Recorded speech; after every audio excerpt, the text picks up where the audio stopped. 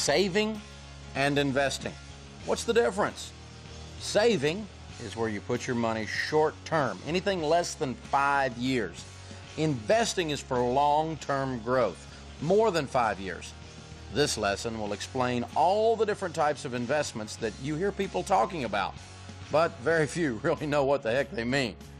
At the end of this, you will know more about stocks, bonds, mutual funds, CDs, and savings accounts than the average adult. So watch closely. Investing will make you rich, so it'll be fun. Please welcome nationally syndicated radio host and New York Times best-selling author, Dave Ramsey. Investing, man, that puts me to sleep. It's boring. I don't understand it. It goes over my head. I'm going to nod off now. No, you're not. Because I tell you what, I told you earlier, and I've told you a thousand times, if you live like no one else later, you get to there's no point in getting out of debt if you're not going to use the fact that you freed up all that income to go build wealth with. This is the other part. This is the build wealth part. Well, Dave, I'm just on baby step one. A $1,000 looks huge to me. If I had a thousand bucks, my life would be rocking. And now you're going to come in here and talk about investing? I can't, I just can't relate. Yes, you can. Yes, you can. Because I tell you what, you know, it's just like in water skiing. It's just like in a lot of sports. Did you know in a lot of sports that as you're moving in that, that you will go where you look? And I tell people, I mean, we, have taught hundreds of people to water ski. We're big water skiers around our family. And we tell people all the time, you will go where you look. If you look down, you're going to go blah, blah, blah, if you go over a water ski jump, you ever seen those guys jump in the water skis? I've done that. You go over, they tell you, look up. Look up. You look down, you go boom, boom, boom. It changes the attitude of your body because you go where you look. And so if you're over here on baby step one on a thousand bucks, I want you looking over here, looking at this bicycle climbing the mountain, because that's where I want you to go. We need to move in this direction.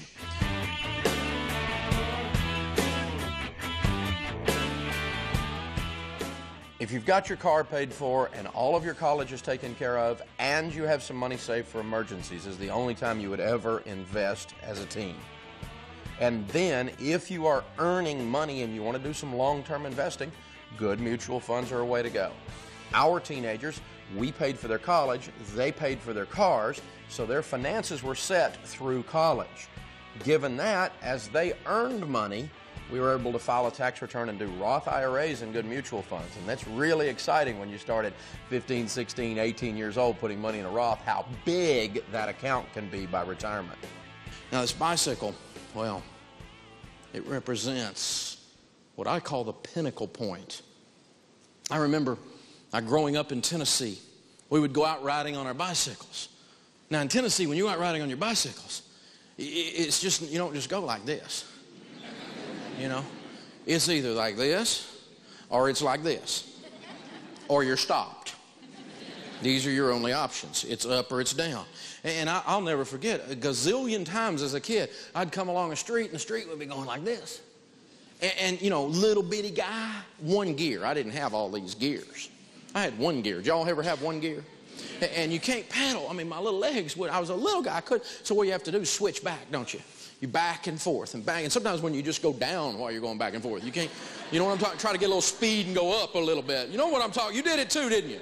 You know what I'm talking? And you work and you work and you're like out of breath and you're sweating and you're over on the curb going, I'm never going to make it, I'm never going to make it. And you're back and you're forth and you climb and you climb and you climb until you reach that point right on top of the hill.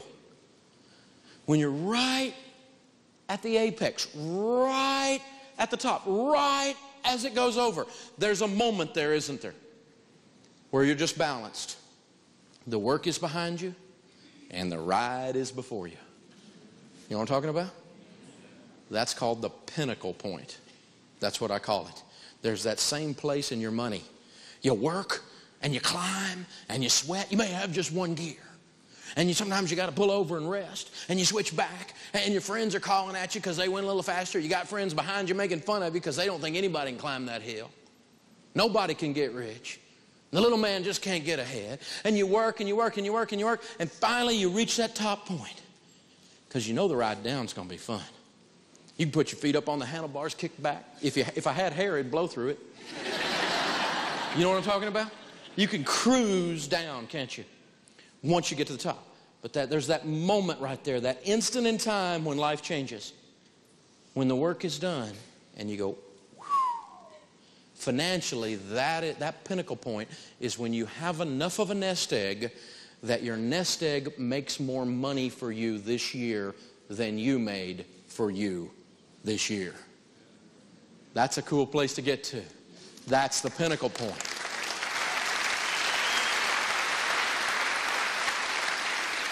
That's where I want to take you to with this lesson. Let's start with the basics. Keep it simple, stupid. Now, I'm not calling you stupid, but I'm just telling you, keep it simple, silly. You can call it, fill it in however you want. It's the KISS principle. You probably heard that, haven't you? When it comes to investing, you can do the same thing. The biggest mistake people make is some people are too smart for their own good. In an effort to be sophisticated, they do stupid things. The wealthy people that I know have very plain, very simple processes that they use. All of these guys that have all this smoke and mirrors and all these other things going on, they're, they don't make it. When I meet them 20 years later, they're broke. The smoke and mirrors took them down. Wealthy people that I know do very, it's painfully simple. It's ridiculous how simple their lives are. They do not overstep the bounds of what they understand. It does not mean that you're stupid if you make simple investments. On the contrary, it means you were wise enough to know what your limitations of your knowledge are. So you never, ever, ever put money in something because I said to. You never, ever, ever put money in something because anyone said to. You gather information from teachers like me, from people in the business. And as you gather that information, you put money in things you understand. If you don't understand it well enough to teach a bunch of seventh graders how it works, you are not ready to put money in it. You work too hard to trust a guy in a good suit with a slick speech. Do not put money in stuff until you understand how it works. Period. And you know, sometimes these financial people, they, they don't mean to. And some of them do mean to because they got egos. I've been around the financial world my whole working life. And there's a couple of different things going on there, but some of it's ego and some of it's just stupidity. We get our own little set of words in every industry, don't we? We have our own vernacular. And you ever sat down and talked to a lawyer and you had no idea what they were saying? You ever had a doctor come in and say, try to tell you what was going on? He sounds like Charlie Brown's teacher. wah, wah, wah, wah, wah, wah, wah, wah, wah.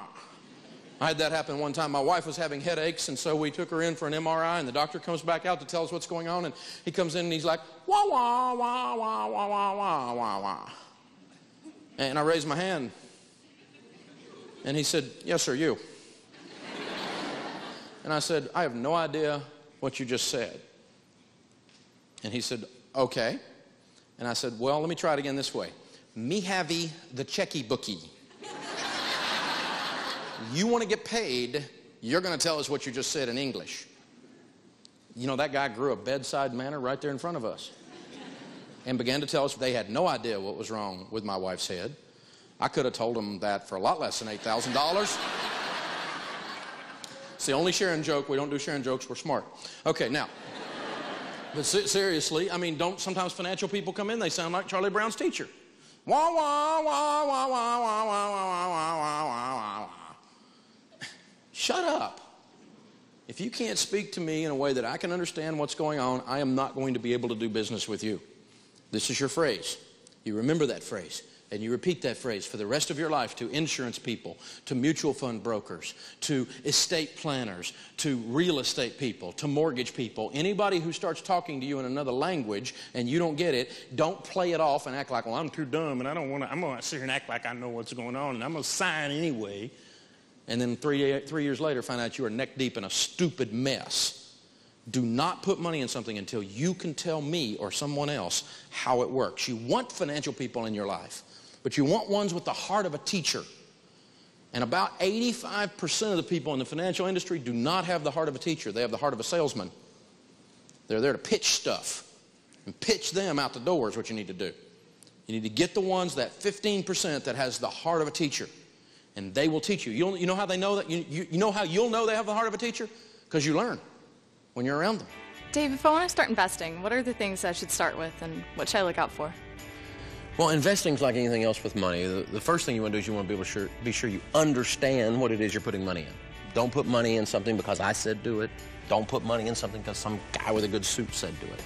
Okay, you've got to know what you're doing, regardless of your age, regardless of your sophistication. And so, if it's if you know if you as you learn more, you can do a little bit more sophisticated investing. Never invest purely for tax savings. I'm putting money in this because it's saving me on taxes. Usually, this, whatever this is when you do that, if it's a pure tax deal, the item that you're investing in is stupid and a bad deal. And it's an economically bad deal, but the tax part works. And they're trying to suck you in with some tax incentives into something you don't need to be into. Invest in good things, and we're going to teach you in the college and retirement planning lesson how to shelter it appropriately and safely, but don't go out there with your primary motivation being to save on taxes. Let your primary motivation when it comes to investing be make money. Then try to find a way to shelter that as a part of that. But if your primary motivation is taxes, you will always get your tail kicked. You'll get in some stupid deals. Never invest using borrowed money. Dave, I borrowed 62000 on my home. It's a dumb idea.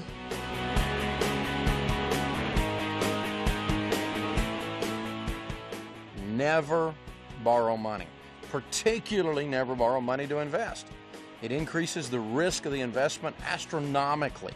And if you lose the money in the investment, now all you've got is a payment to remind you every month of your stupid decision to make that investment. I've made some bad investments, and if I lost the money, it's just gone. At least it's not gone, and then I get to pay payments. So, no, never borrow into an investment. No investment is that sure. No investment thinks that's a great idea. Diversification. That's one of those wah, wah, wah, wah words, isn't it? I have a well diversified portfolio. What did he just say? Diversification is a real simple idea. It means to spread around. It means don't put all your money in one thing. You'll get your head taken off. Don't bet your family farm on one horse in one horse race. And you know, I got this sure thing. There are no sure things. Always spread your investing around. Never have it in one thing under any circumstances. Because when you spread it around, you have lowered risk. That's what happens.